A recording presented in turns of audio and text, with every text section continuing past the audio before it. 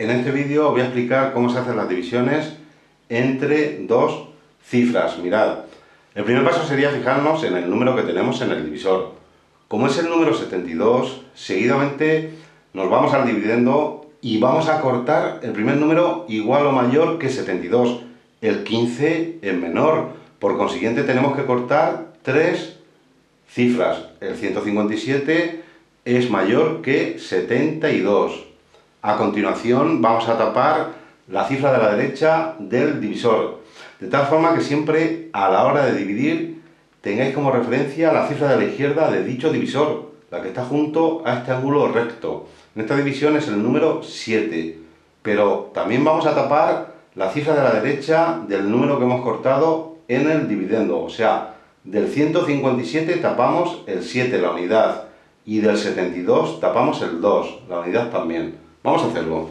Tapamos y tapamos.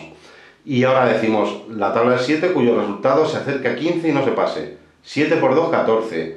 Porque a 3 nos pasamos. 7 por 3 son 21. ¿De acuerdo? El número que nos ha cuadrado lo escribimos en el cociente. Y lo multiplicamos por 2 y por 7, de derecha a izquierda, comenzando por las unidades. 2 por 2, 4, hasta 7, 3. Aquí estoy restando directamente de cabeza, sin escribir el sustraendo o cantidad que le quitamos al minuendo. Y ahora, 2 por 7, 14, hasta 15, 1. O 15 menos 14, 1.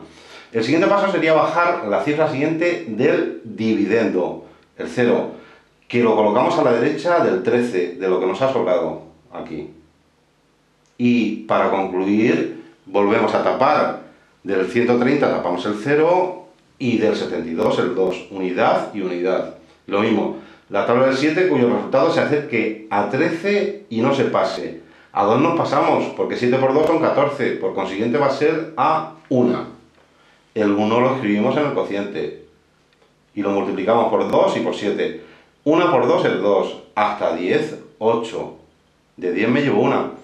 ¿Por qué vamos a 10? Porque tenemos que ir a la decena inmediatamente posterior, de más arriba. No podemos ir ni a 20, ni a 30, ni a 40, etcétera, ya que en el resultado, en la diferencia, no puede haber un número mayor de 9. De 10 me llevo una. Una por 7 es 7 y una que me llevo 8. Hasta 13, 5. Y hemos terminado. ¿Por qué hemos terminado? Porque si os dais cuenta, en el dividendo no hay más cifras para bajar. Ya hemos bajado el último cero, que sería este. El resultado de esta división o cociente es 21 y de resto nos ha dado 58. El resto no puede ser mayor, más grande que el divisor. Decir que el hecho de tapar las cifras se hace solamente al principio, ya que una vez aprendido el mecanismo no será necesario tapar ninguna cifra, ya que el proceso se hará intuitivamente.